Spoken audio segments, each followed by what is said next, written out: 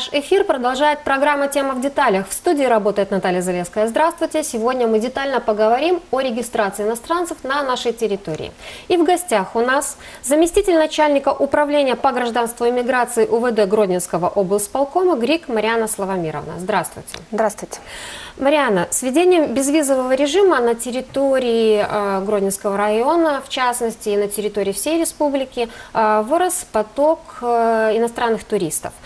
Э, по закону иностранные граждане, прибывающие в нашу страну, должны зарегистрироваться, то есть согласно миграционного законодательства. Где именно, в каких учреждениях они могут это сделать? Действительно, в соответствии с законом о правовом положении иностранных граждан и лиц без гражданства, а, иностранцы, которые прибывают на территории Республики Беларусь, э, обязаны зарегистрироваться на срок свыше пребывания пяти суток, если эти дни пребывания не э, относятся к выходным, к праздничным и установленным выходным дням президентом Республики Беларусь. Все, что касается свыше этого срока, иностранец обязан обратиться либо в орган внутренних дел по месту их временного пребывания, проживания, либо в тот орган, который является органом регистрации. Это могут быть гостиницы, это могут быть агроусадьбы, это могут быть э, санатории, э, хостелы, например. Хостелы, да. да ну и иные организации, они которые имеют именно право на осуществление такой административной процедуры. Угу, то есть те, кто принимает, принимающая сторона. Да. Э, на территории Гродненского района безвизовые туристы могут находиться до 10 дней. То есть если э, туристы прибывают через Минский аэропорт, там по законодательству это 30 дней, у нас же на территории Гродненского района это 10 дней. Но очень многие приезжают на один или два дня. Вот давайте еще раз конкретно проговорим. Вот эти прибывающие на один, два, три дня туристы, они обязаны регистрироваться или все-таки нет? На туристов, которые прибывают в рамках безвизового въезда, вот указан угу. номер 8, про который вы сказали, через национальный аэропорт города Минска, либо в рамках Августовского канала, угу. они на них распространяется точно такая же обязанность, как и на обычных иностранцев. То есть Те, пребывание, да, пребывание да? до пяти суток без регистрации, свыше пяти суток пребывания на территории Беларуси, иностранец mm-hmm. обязан зарегистрироваться, несмотря по тому, что он приехал по безвизовому въезду. То есть визовый режим въезда, безвизовый режим въезда до пяти дней. Регистрация не обязательно, свыше пяти дней обязательно регистрация в органах внутренних дел, либо, как мы уже говорили, это гостиница, это хостел, это санаторий, это либо то принимающее да. учреждение, которое принимает этого туриста. Абсолютно верно. А вообще э, с Нового года у нас есть некоторые изменения в этом законодательстве. В частности, с 1 января у нас введена возможность электронной регистрации приезжающих. Давайте, может быть, поподробнее э, об этом расскажем. Э, действительно, со 2 января на органы внутренних дел имеют право и могут осуществлять регистрацию угу. иностранцев в электронном виде. Для этого иностранец должен из любого мобильного устройства, либо устройства, которое имеет доступ к интернету, зайти на сайт, портал электронных услуг угу. и в рамках своей электронной почты создать там личный кабинет. Угу. И когда он это произведет, угу. создаст свой личный кабинет, он должен а, войти во вкладку «Доступные услуги», потом будет вкладка «Гражданство и миграция» и зарегистрировать свое заявление о регистрации как иностранца с указанием определенной административной услуги. Угу. У нее есть там номер, э, будет видно, когда будет человек заходить в интернет, он будет видеть, какой номер э, регистрации этой услуги. Заполняется, сразу высвечивается бланк заявления, иностранец заполняет все поля, которые обязательны для заполнения, нажимает на кнопочку, заявление отправляется в орган внутренних дел, и ему приходит подтверждение о регистрации. Может быть такое, что регистрация не осуществится. И mm иностранцу придет уведомление о невозможности регистрации именно в рамках электронной регистрации. Такое, как правило, распространяется на тех лиц, которые не пересекли границу Государственной Республики Беларусь. Потому То что есть... портал электронных услуг по регистрации иностранцев привязан к пересечению нашей границы. mm То есть те, кто приехал с территории союзного государства, они, да, они не осуществят вот эту регистрацию в электронном виде. Угу. И в соответствии... То, что фактически пересечение границы Республики Беларусь не, видно. не было, не и было его, видно. Да. да. И не будет, э, когда э, осуществляется сама регистрация, вот угу. это заявление, оно обрабатывается каким-то там образом, они не смогут связаться с банком данных пограничников угу. и подтвердить пересечение границы в Республику Беларусь. Таким туристам нужно будет автоматически лично, лично обратиться. Да. Либо обратиться в администрацию того учреждения, в которое они ну, прибыли. Ну, смотря куда они прибыли, да, да. Смотря куда они прибыли. Ну и следует обязательно сказать о том, угу. что иностранные граждане, которые воспользуются правом электронной регистрации, они в соответствии с налоговым кодексом освобождаются от оплаты государственной пошлины, в отличие угу. от тех иностранцев, которые будут регистрироваться непосредственно в органах внутренних дел. Угу. Ну и то есть, э, если, допустим, войти на этот портал, то там, наверное, все интуитивно понятно. Если... Конечно, это точно так же, как если мы угу. с вами оплачиваем, например, через государственную пошлину да. через угу. ЕРИП. Там все доступно и все понятно. Угу. А вообще, есть ли категории граждан, которым не обязательно проходить регистрацию? Вот мы уже говорили о том, что некоторым невозможно, а есть ли, скажем так, такие страны, либо такие профессии, либо, может быть, какие-то миссии, э, которым регистрироваться в подразделениях внутренних дел, либо там в гостиницах, где они останавливаются, не обязательно? Ну, соответствии с законодательством, угу. опять-таки ссылка на закон о правовом положении иностранных граждан и лиц без гражданства Республики Беларусь, определена категория иностранцев, которые не подлежат регистрации.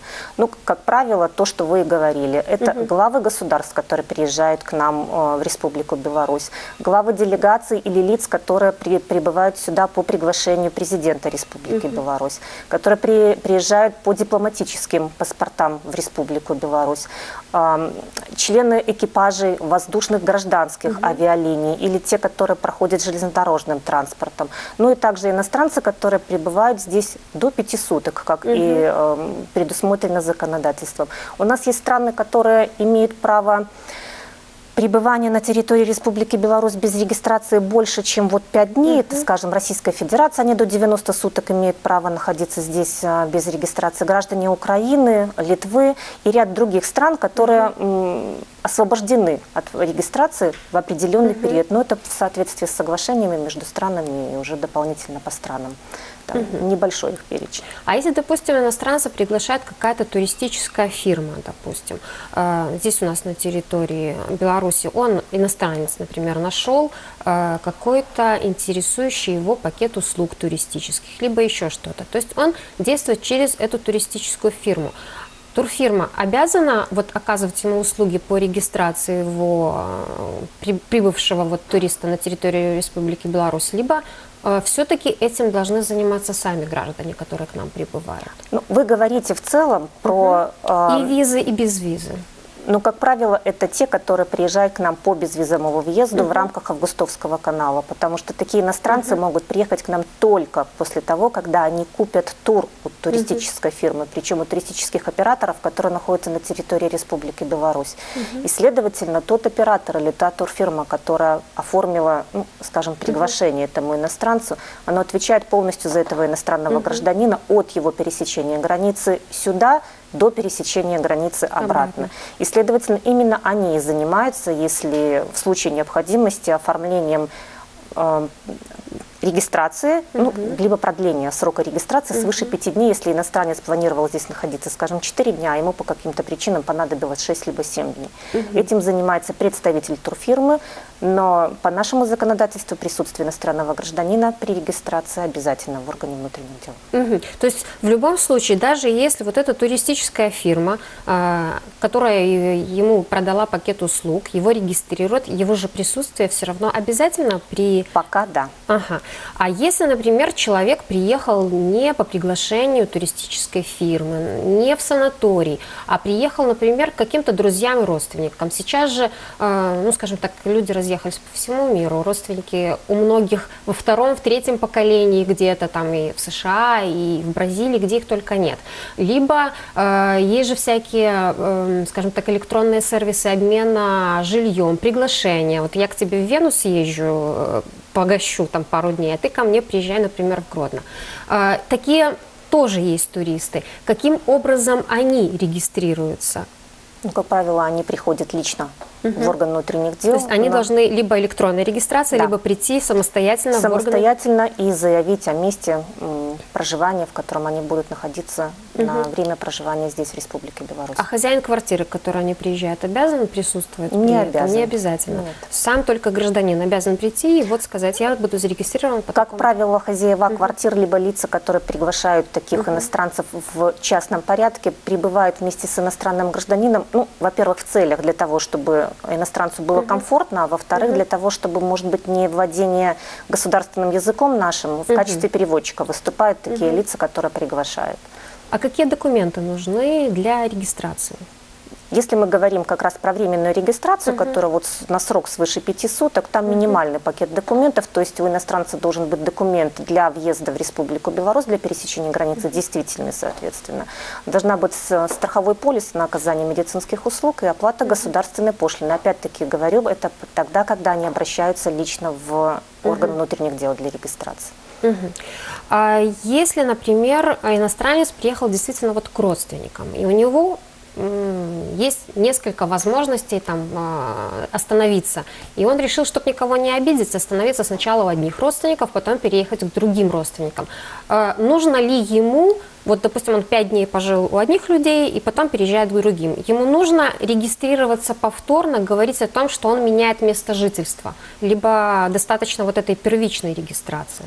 По нашему законодательству иностранец имеет право проживать только по месту регистрации. Следовательно, если он покинул свой то место, где он зарегистрирован на пятые сутки и уехал и будет проживать там в другом месте следующие пять суток, он обязан поставить орган внутренних дел об изменении адреса проживания. Угу. То есть ему опять нужно идти в да. органы внутренних дел, опять платить госпошлину, все то же самое, что и ну, пер... Смотря на какой срок он приехал, угу. если он указал о том, что он будет находиться, ну, скажем, в городе Гродно на территории Ленинского района с, с указанием угу. конкретного адреса 15 дней, то при переезде в город Минск ему этот срок пребывания будет продлен, но изменен адрес проживания. Ага, ясно. А если, например, в Гродно с одной улицы он переехал на другую? Он обязан проживать по месту регистрации. Угу. То есть он переезжает к другим родственникам, он идет в Если органы это свыше пяти дел, суток, да. Да, и регистрируется уже по новому месту жительства.